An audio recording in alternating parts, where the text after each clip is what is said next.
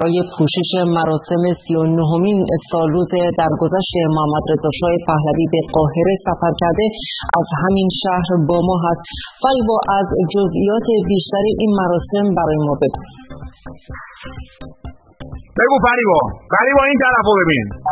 جزئیات رو بگو فریبا. فریبا صدای من رو میشنوی؟ فریبا با من حرف بزن فریبا ظاهرا همکارم صدای من رو نمیشنوه. ظاهرا همکارتون اصلا تو باغ نیست. بریم یه گزارش دیگه ببینیم تا فریبا صدای شما رو بشنوه. دی ماه سال 1358 پایتخت پاناما.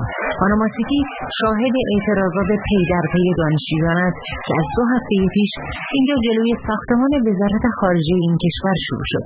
اعتراض به ورود محمد رضا پهلوی شاه ایران که اواخر آذر به این کشور آمد. آقا قطع قطع کن. ای خاک عالم تو سرتون با این گزارشتون. کاری که شما با اعلی حضرت دارین کاغذ خود کن با کاغذ نمی‌کنه بریم سراغ فریبا ببینیم صدای گزارش آقا کجا داری میای؟ برو بابا.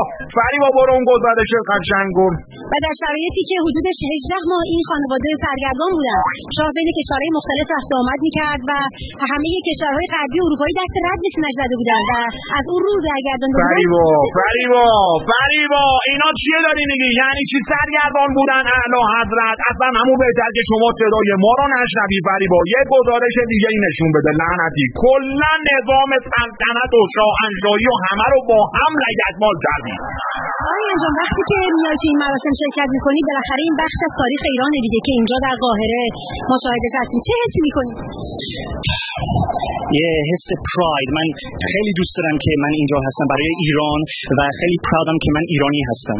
الان تو این گرونی خود پراید هم حس زامبیا رو گرفته. بعد تو برای ما حس پراید گرفتی.